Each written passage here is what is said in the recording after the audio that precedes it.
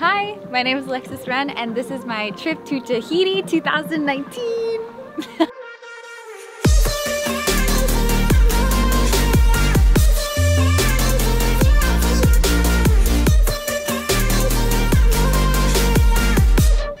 Guys, I need to show you something.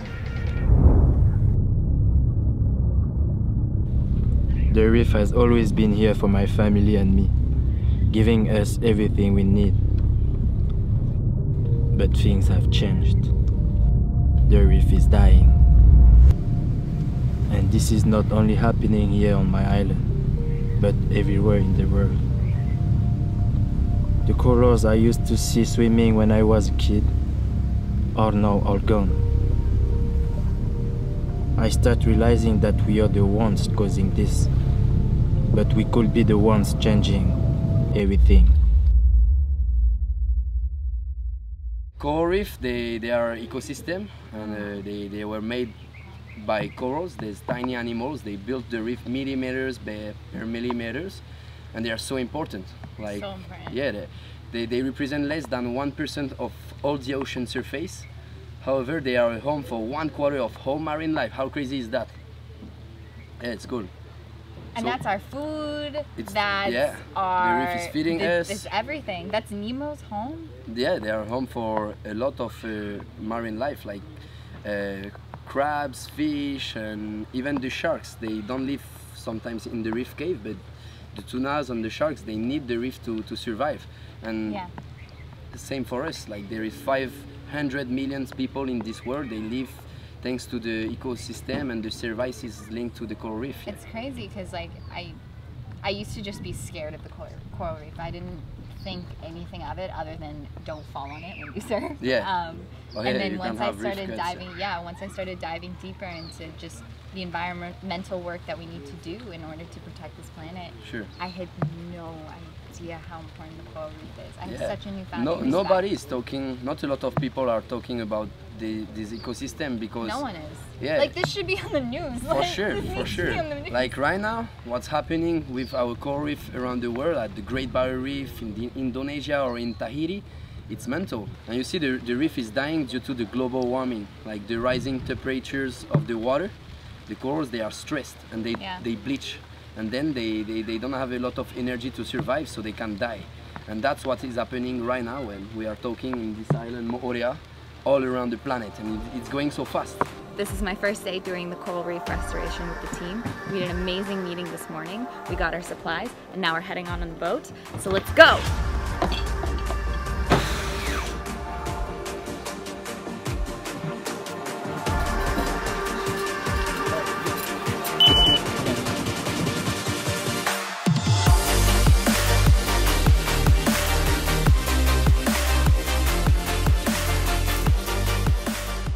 So this is my first time planting the coral reef and restoring it. Um, what is the process of replanting it and bringing it back to life? Sure, yeah. So with technology nowadays we can bring new life to the reef by planting corals. Basically it's like trees. You collect broken pieces of corals, you will put them on nurseries during couple weeks, couple months, and then when they are ready, you will choose some damaged areas of the reef and plant your corals. And as you are planting corals, you are creating new habitats for the marine life, and it's so cool to come back months later, years later, and see that your coral you plant is growing. It's become a home Exactly, well. yeah. That's amazing. The- How long is the process usually? So to give you an example, the first coral I, I planted was uh, when I was 16 years old, so five years ago. It was maybe this size, Uh-huh. and I came back after five years, and now it's like this. You have little orange, red, red crabs in it, little uh, striped black and white fish, and yeah, that's what stimulates us to do more. Yeah. and why is it so important for us to restore the coral reef? Like if we lose the reef we, we lose a lot of uh, balance in our oceans and coral reef they are so important. They protect our island. They give us the fish like the food we eat. Yeah. they are a home for 20% of all the biodiversity and uh, yeah and half of the oxygen we breathe basically comes from the ocean. Yeah. no reef no ocean no air. So we need to care. We need to breathe. yeah That's amazing. That's amazing. And what should I expect going into it for the first time? So yeah, it, it will be your first time planting corals with, Yeah. with us. So I will explain you about the process and we're gonna collect your favorite corals and plant them back onto damaged reef with the drill and the team. And uh, no, I think it, it's it's a great feeling because in in this time, like we, we want change, we want to do things, to act, but Yeah. the fact of planting your corals, you're actu- actually doing something and you can see it growing. So Yeah. it's giving a lot of hope, yeah, Yeah, you're doing the actual action as opposed to just doing the talk. for sure. We're doing the action. Yeah, let's ah!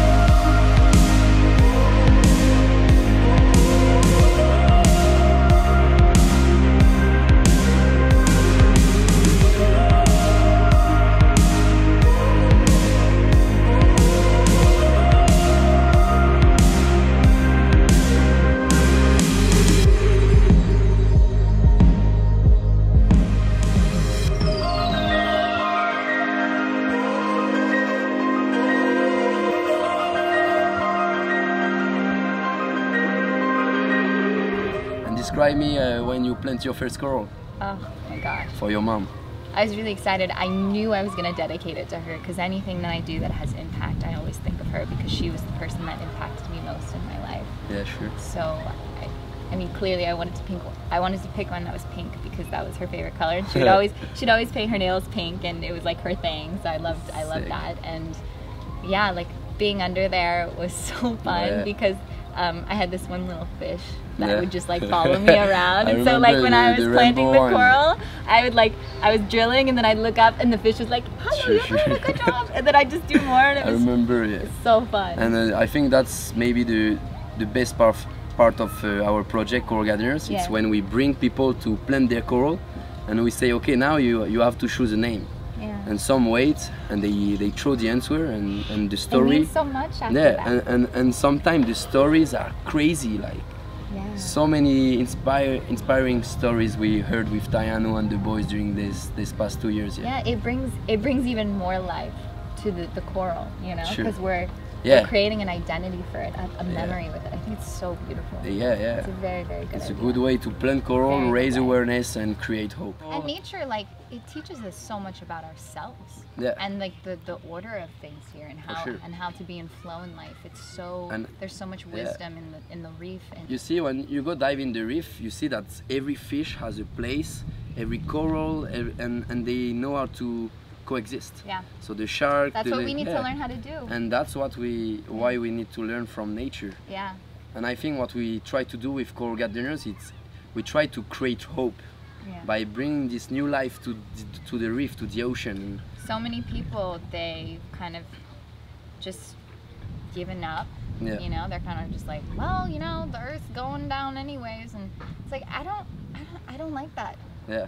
I don't know about you but even if it, you know we can't save it i want to be a part of the people who tried Yeah. I, And, like, I want to try too. they're the most inspiring people i've ever met like you guys Thank you. yeah so this is this is the kind of people that i'm so grateful to be Yeah, surrounded with and you know, me, I'm really hopeful for the future because, uh, like yesterday afternoon, when when my team and I we go to schools, and you meet the kids, and they they are aware, they Yeah. already know a lot, and all of them they want to get involved and, and be a part of the project, and that's that's really giving me hope for the future. Absolutely. So when we're not here, they'll be here bringing on sure. the legacy. So we're off to see the kids to teach them about the coral reef. We Yeah. brought all our supplies. Really excited. It's gonna be a fun one. We have Oh, all the family in the Yeah. car today.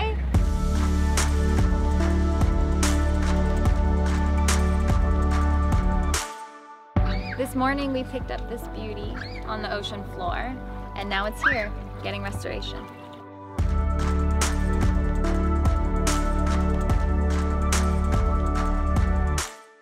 So we just finished with the kids and that was an amazing experience. It's so cool to see how kids they want to learn and they want to help. It's just that they're unaware of what's actually going on in this world and that's why it's so important for us to come and bring awareness.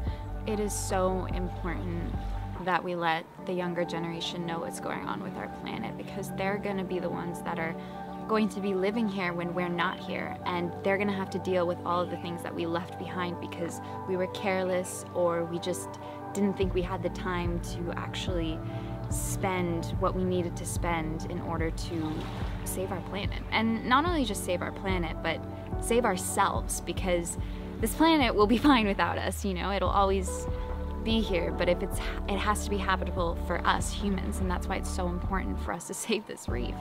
Let's save the reef! And you see what I with Coral we try to have a different uh, way of raising awareness. A lot of people they tell people don't do that, you should do that, and they show only the bad stuff. Yeah. But with Coral Gardeners, we try to, to show the beauty and the importance of the corals, of everything in the ocean, and make people want to get involved. With my team, we try to, to use as many people as we can to, to be able to, to raise awareness and to tell the story of the reef. And, and you know what? We actually do something. Yeah, because the ocean belongs to the people regardless of what you do, where you are in this world, Yeah. society, where you are in society, how much money you make, what you doesn't matter because at the end of the day we're all people. And we all need the same things in order to survive.